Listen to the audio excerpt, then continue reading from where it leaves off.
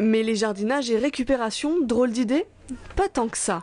À la Maison de l'Environnement, on a prouvé que les deux étaient compatibles. Alors c'est de sensibiliser à la fois au recyclage, à la fois au respect de la nature, de montrer également qu'on peut, euh, euh, même lorsqu'on n'a pas forcément un jardin, on peut quand même faire pousser des plantes. On peut euh, non pas jeter euh, certains objets de la maison, mais les récupérer pour faire euh, des pots de fleurs, pour faire des jardinières. Voilà, c'est une sensibilisation euh, globale. Des clous, un marteau et quelques palettes récupérées, pas besoin de plus pour réaliser soi-même du mobilier de jardin.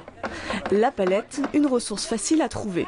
Les palettes, maintenant, toutes les palettes qu'on va trouver, sauf celles qui sont vraiment très vieilles, sont, euh, sont avec un traitement qui est haute température. Dans le meilleur des cas, ou pas traité du tout.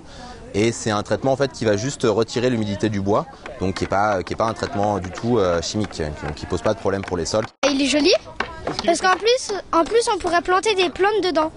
Et si vous n'avez pas les moyens d'acheter jardinière ou pot de fleurs, de simples bouteilles d'eau ou boîtes de conserve peuvent faire l'affaire. Le jardin décoré, il faut aussi y faire pousser des plantes. Et Saint-Quentin en transition a une solution. intéresser les enfants à, la- à jeter des graines par l'intermédiaire d'un boule à graines qui est constitué avec du terreau et de l'argile dans lequel on malaxe des graines. Et ensuite, on les invite à les jeter à des endroits où ils pensent qu'il pourrait y avoir un petit peu plus de végétation. Avec l'été qui approche, voilà quelques petites idées pour embellir votre jardin.